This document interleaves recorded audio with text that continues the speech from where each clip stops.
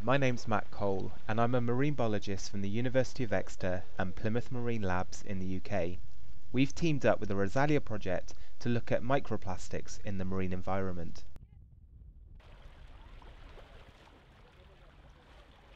Because microplastics are so tiny and the ocean so vast, we have to use specialist equipment called a neuston net to collect the microplastics from the sea surface.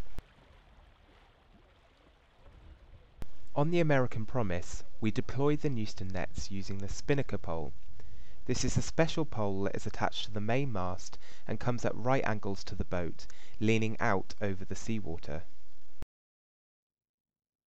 The neuston nets are suspended above the sea surface until they're ready to be deployed.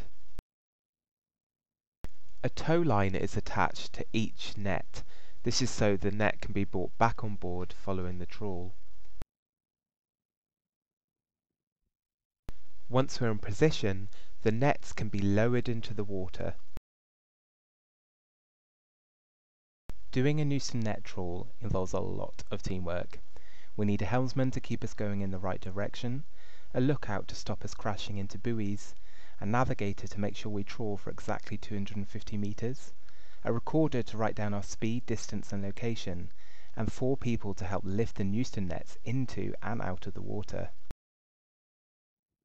Neuston nets come in different shapes and sizes, some with circular and some with rectangular openings.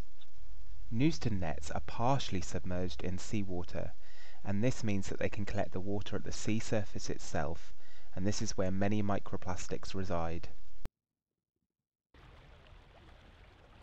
The neuston nets can also capture very small animals that live within the ocean, called zooplankton. Our finest nets can even capture tiny, tiny little plants that live within the ocean called phytoplankton. Sometimes these are so numerous that they weigh the whole net down and it becomes submerged. For the research we've been doing with the Rozalia project, we're doing tows of about 250 metres. Once the tow's complete, we haul the nets out of the water and bring them back onto the boat. Everything collected by the net ends up going into the cod end. That's the small plastic container at the back of the net. We can then remove the cod end and pour its contents onto a very fine mesh. We can then rinse the cod end and again pour it back onto the mesh to make sure all of our sample is retained. When large items of debris like seaweed are found in the sample, we put on gloves and then wash down that seaweed using a squirt bottle, and this makes sure that any microplastics present are retained within our sample.